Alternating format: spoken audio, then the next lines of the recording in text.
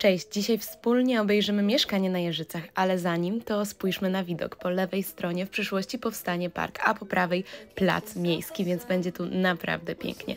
Teraz znajdujemy się już w salonie z aneksem kuchennym, który jest naprawdę spory, ustawny i w kształcie kwadratu, także można tutaj zaszaleć z designem i wystrojem. Pierwsza, najmniejsza sypialnia, z której mamy wyjście na balkon. Może ona służyć za biuro, ale również możecie tutaj wyburzyć ściankę działową i powiększyć sobie salon tak, żeby był z prawdziwego zdarzenia. Garderoba w korytarzu, więc miejsce na Wasze ubrania wierzchnie, ale i zagospodarowanie przestrzeni na wszelkie inne potrzebne rzeczy. Obie sypialnie są podobne metrażowo, ale tą zrobiłabym na główną z dużym, wygodnym łóżkiem. Teraz obok toaleta, a zaraz obok niej duża łazienka, w której również możecie zaszaleć. Według mnie to mieszkanie ma bardzo plastyczny układ i dużo tutaj możecie pozmieniać. A jak Wam się podoba?